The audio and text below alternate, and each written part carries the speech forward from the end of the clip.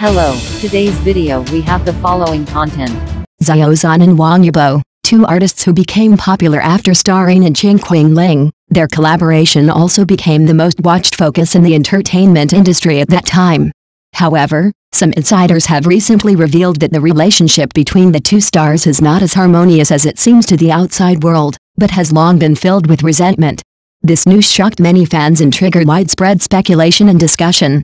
Although Xiao Zhan and Wang Yibo have always shown a very friendly image in public, the conflicts behind the scenes have accumulated to the point of irreparability.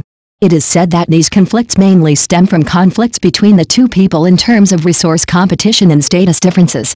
In the recent work Winter Journey, this contradiction seems to be reflected. In Winter Journey, the character played by Xiao Zhan accidentally lost his memory, while Wang Yibo played a mysterious character. The relationship between the two is complicated and full of suspense.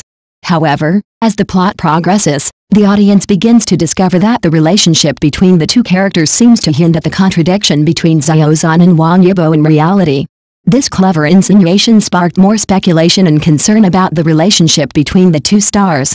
Although these revelations have not been officially confirmed, they have caused many fans to worry about their relationship. In the entertainment industry, a world full of competition and interests, the complexity of interpersonal relationships often exceeds people's imagination. I hope Xiao Zhan and Wang Yibo can realize the importance of each other, cherish each other's cooperation, and get through this difficult period together.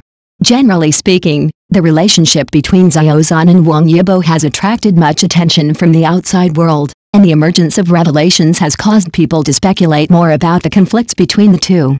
I hope this is just a rumor and that the two artists can stay rational during these difficult times, resolve their differences, and move towards a more glorious future together.